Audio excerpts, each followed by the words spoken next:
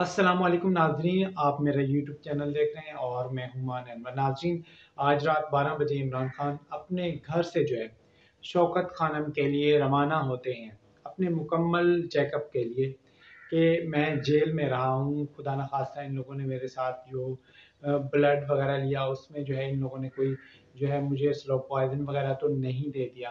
तो उसके बाद रात के बारह बजे इमरान खान साहब जो है अपनी हॉस्पिटल शौकत खाना में गए और उन्होंने मुकम्मल जो है अपना चेकअप करवाया।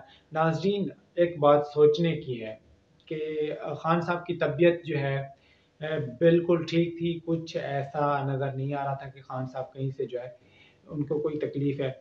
लेकिन कहीं से उन्हें खबर मिली और जो है बाकी जो हमारे पीटीआई वर्कर्स हैं, उन्होंने कहा कि खान साहब, आप जेल में इतने दिन रहे आपने चेकअप नहीं करवाया। आप शौकत खानम जाएँ और फ़ौरन अपना चेकअप करवाएँ कि इन लोगों ने जो है आपके साथ कुछ किया तो नहीं है। इन लोगों ने स्लो पॉइजन वगैरह करने की कोशिश की थी तो इन लोगों ने नींद वगैरह में इन लोगों ने करने, कर ना दिया लेकिन खान साहब ने कहा, मैं सोया ही नहीं हूँ।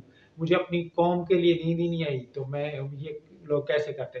फिर भी मैं आप लोगों को कहने के ऊपर जो है मैं जो है शौकत खान से जो है मुकम्मल चेकअप करवाया था तो रात के बारह बजे इमरान खान साहब गए, शौकत खानम और उन्होंने जो है अपना मुकम्मल ट्रीटमेंट करवाया, जिसकी रिपोर्ट जो है आज जो है मीडिया पे शो कर दी जाएगी।